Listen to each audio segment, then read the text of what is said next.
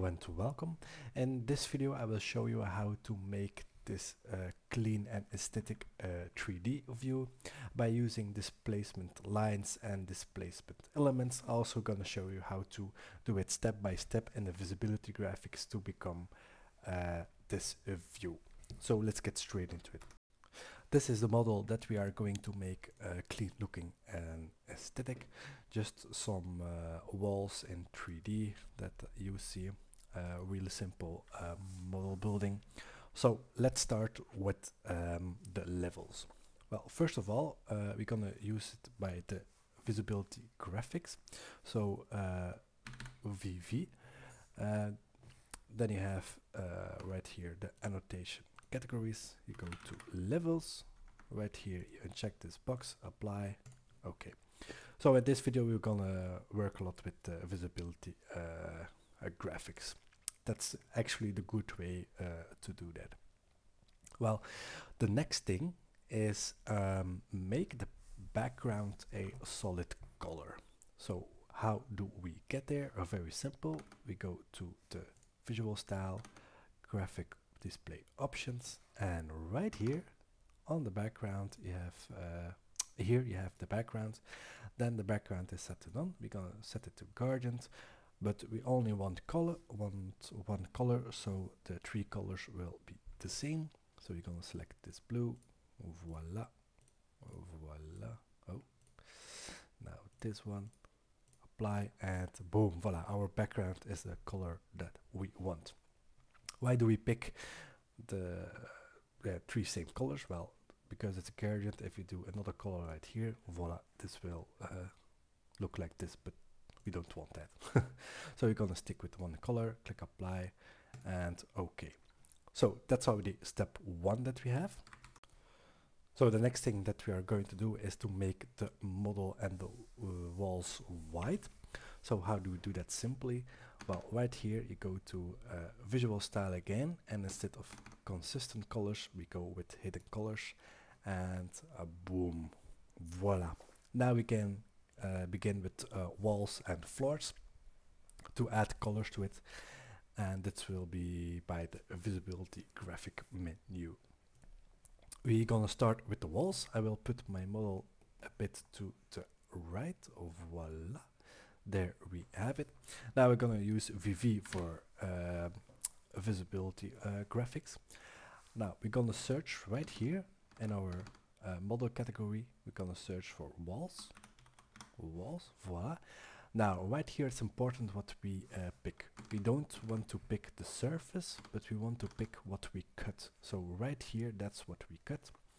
So we go to patterns. We're gonna make a solid color and we will be uh, using foreground. Why else? The pattern will still be visible and we don't want that. We're gonna make a solid fill do it darker. Okay apply and boom there you have it. See that darker blue? But we still have the dark uh, or the black lines and we don't want that. We want it also in the light blue. So right here lines cut we go to override then we will go to uh, light blue. Voila click ok apply and voila there we uh, have if you want all the lines to be in the blue, just click on Shift, override again, click on the color that you want, apply, apply, and voila, everything is in light uh, blue. Now the next thing that we're going to do is right again the floors here also. So we go instead of walls, we go to floors. Voila, we're gonna set, uh, we're gonna select all of it override now the light blue for the lines click ok apply. So the lines you see already changing. Now you do uh, for a solid fill you make it darker. Okay apply and boom there you have it. It's already looking uh, very nice.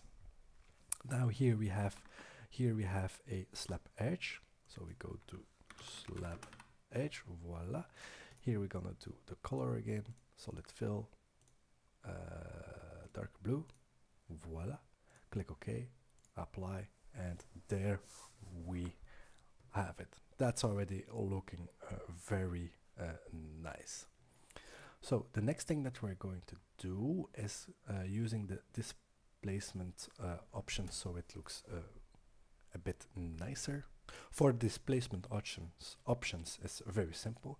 You just select one element and right here on the modify tab you have here displacement elements. So you click on it, then you just use this key right here, the arrow, just draw it where you want. We're gonna draw it to here, voila, very nice. We're gonna do that the same for this one. Again, right here, displace elements. On the arrow again, we will use it or leave it right here and then just move it a little bit further away. Same for the curtain wall. We're gonna use um, displacement options.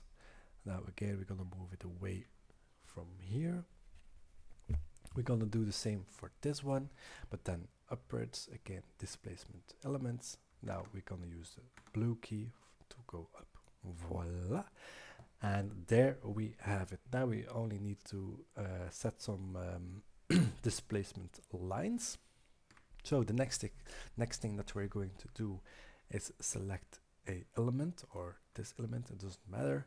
And now we're gonna um, show uh, the path to where it belongs. So right here you have path, click on it. And now we can just go right here and just click by it and voila. Voila. And that's how it really works. So you have your displacement paths. Now we can do that for the other one. So we're gonna set one here and one here. So we see it uh, nicely. So see how it's coming alive? This is really oh, really looking beautiful. Got zit a. So it's in the center of my screen. And that's how we use this displacement paths for the displacement elements. Now we can give some finishing touches like the displacement paths are black. We will change the color by going to visibility graphics by clicking uh, by uh, shortcut VV then we go again to annotation categories. We go to displacement path right here. We click on override and we will use our dark color dark blue okay click apply and that's already looking uh, uh, very nice now we have still some black lines right here and we also want it in blue. Well, the fastest way to do that is just select everything, then right click, override graphics and view by element, and then we go to projection lines, add the dark blue, voila, apply, okay, and boom, there it is. It's looking very nice. Now I see I forgot to uh, for the curtain wall panels and the beam, so I will first do that by visibility graphics, then curtain, oh, uh, curtain panels, click override, solid fill, dark blue, okay, the lines I will use light blue, voila, okay, apply, so that's changed, very nice.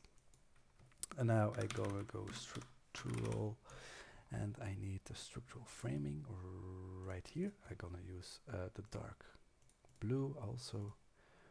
Voila click OK. And for the lines I will also use a dark blue because they are so thin that they will interfere each other. And click apply. And nicely done. See?